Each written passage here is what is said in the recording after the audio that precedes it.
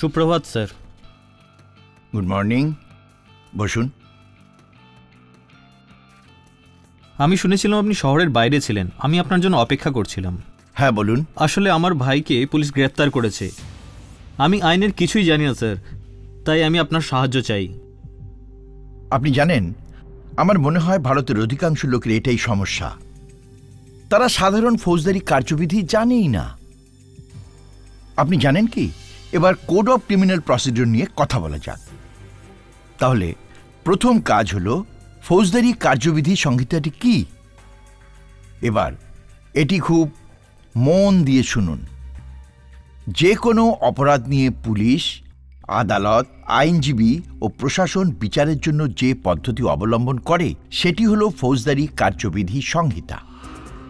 ফৌজদারি আইন সংক্রান্ত সব কিছু ফৌজদারি কার্যবিধির আওতায় আসে যেমন এফআইআর। ফার্স্ট ইনফরমেশন রিপোর্ট বা সহজ কথায় এফআইআর। এফআইআর হল কোনো অপরাধের ঘটনায় তদন্তের কাজে প্রথম পদক্ষেপ।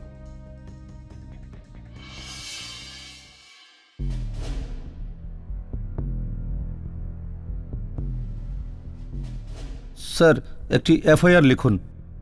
কে হয়েছে? স্যার কেউ আমার ব্যাগ থেকে একুশশো টাকা চুরি করেছে। ও ঠিক আছে। আমাকে পুরো ঘটনাটা বলুন।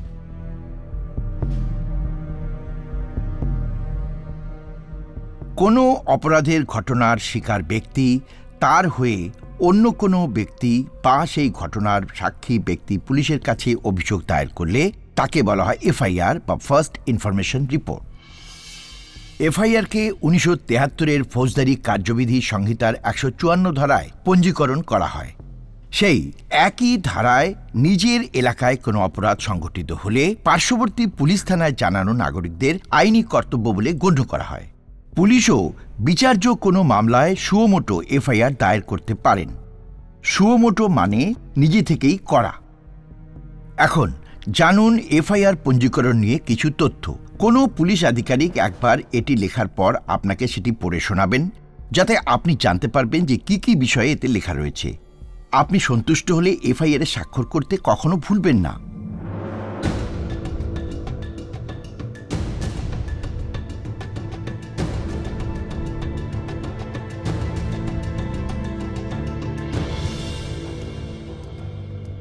কিন্তু পুলিশ এফআইআর করতে অস্বীকার করলে কি হবে? না কোনো পুলিশ আধিকারিক এফআইআর দায়ের করতে অস্বীকার করতে পারেন না আর তা করলে আপনার হাতে অনেক উপায় আছে।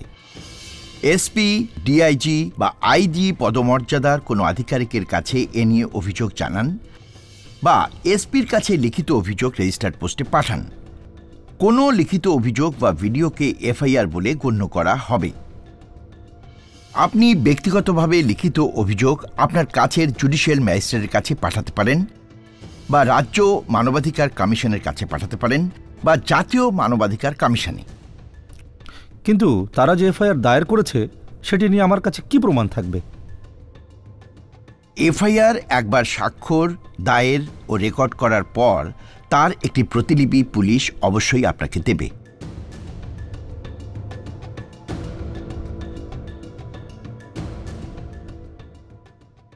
না না এফআইআর প্রতিলিপি বিনামূল্যে দেওয়া হয়।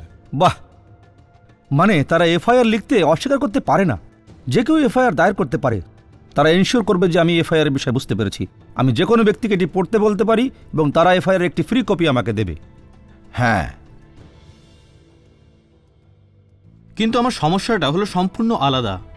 আমার ভাইকে গ্রেফতার করা হয়েছে এবং কেন গ্রেফতার করা হয়েছে তার কারণ আমি জানি না। আমি কিছুই করতে পারব না যদি কারণটা না জানতে পারি। আমি আপনাকে গ্রেপ্তার নিয়ে কিছু জানাব। সাধারণত পুলিশ একটি নোটিশের মতো ওয়ারেন্ট বা পরোয়ানা নিয়ে আসবে যাতে গ্রেপ্তারের কারণ লেখা থাকবে। যেসব অপরাধ মানবদেহের বিরুদ্ধে করা হয় সেক্ষেত্রে পরোয়ানা ছাড়াই গ্রেপ্তার করা যায়। আপনাকে কারণ না জানিয়ে কেউ গ্রেপ্তার করতে পারে না। কিন্তু ওরা আমাকে এখনও কিছুই বলেনি। কোনো পুলিশ আধিকারিককে জিজ্ঞাসা করুন।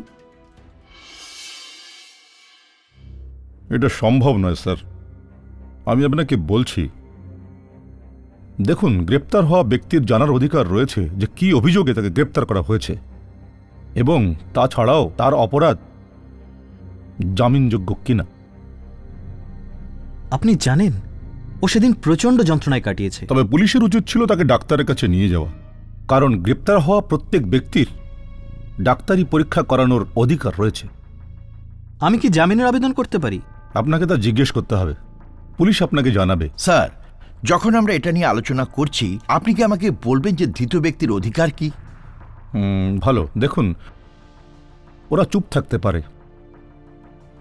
পুলিশ বা ম্যাজিস্ট্রেটের কাছে গ্রেপ্তার হওয়া ব্যক্তির অধিকার রয়েছে চব্বিশ ঘণ্টার মধ্যে ম্যাজিস্ট্রেটের সামনে তাকে হাজির করার। আমরা কোনো ব্যক্তিকেই বিচার বিভাগে তদন্ত ছাড়া চব্বিশ ঘণ্টার বেশি সময় আটক রাখতে পারি না। তবে ওই ব্যক্তি যদি চান তিনি থানা থেকে নিজের পরিবার বা নিকটাত্মীয়কে ফোন করে তার গ্রেপ্তারের খবর দিতে পারেন। হ্যাঁ এবং চাইলে তিনি আইনি সাহায্য নিতে পারেন। খরচ বহন করতে না পারলে বিনামূল্যে আইনি ব্যবস্থাও রয়েছে। তাদের সাক্ষ্য উপস্থাপনের জন্য নির্দোষ প্রমাণ করতে। থ্যাংক ইউ স্যার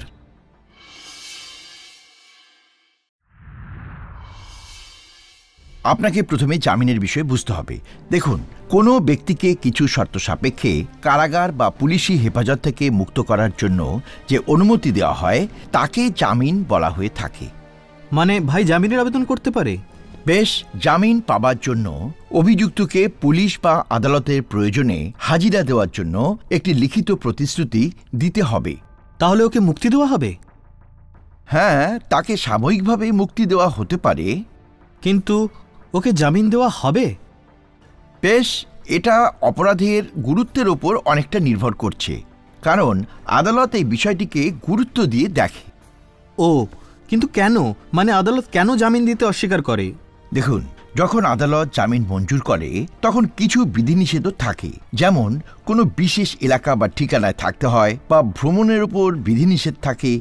বিশেষ সময়ে পুলিশের কাছে হাজিরা দিতে হয়। অপরাধের শিকার বা প্রত্যক্ষদর্শীর সঙ্গে সাক্ষাতেও নিষেধ থাকে। এছাড়াও, আদালত অভিযুক্তকে সাক্ষ্য প্রমাণ লোপাটের চেষ্টা থেকে বিরত করতে জামিন দিতে অস্বীকার করতে পারে।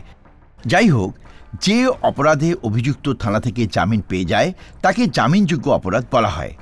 আর জামিন অযোগ্য অপরাধের জন্য অভিযুক্ত আদালতে আবেদন করতে পারে।